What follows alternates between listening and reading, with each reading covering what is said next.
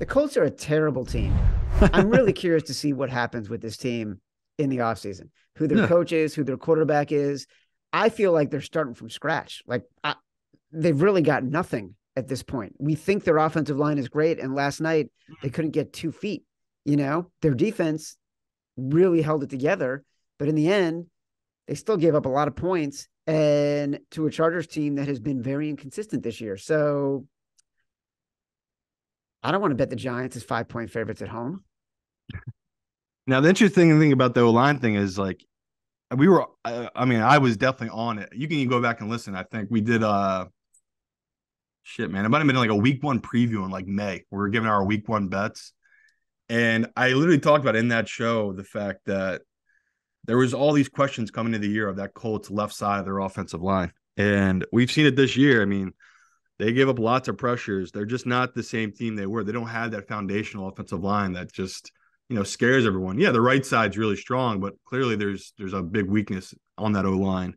But the Colts team, if this was week seven, auto bet, no doubt, slant smashing the Colts.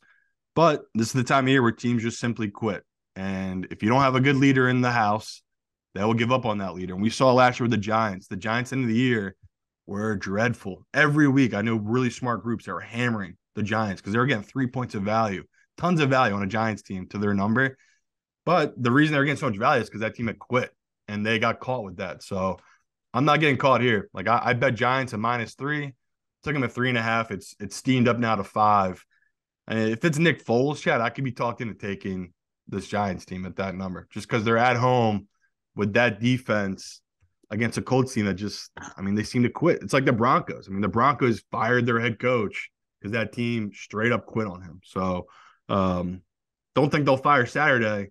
Even better. Like they're going to keep the guy there that all these guys don't like, apparently. So um, hilarious. I mean, you look at those. He won that one game. Was that the first game he coached? He won. Yeah, first game. Uh, and Jim Irsay, you know, came out puffing his chest, talking shit to people, saying like, "How could you say this about me? How could you doubt us? All we care about is winning. Just win, baby." Whatever the hell he tweeted.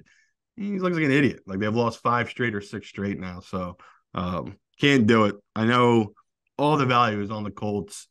Don't care if you move it up to seven. I'll start thinking about the Colts, but six, six and a half, I'd still take this Giants team at this point.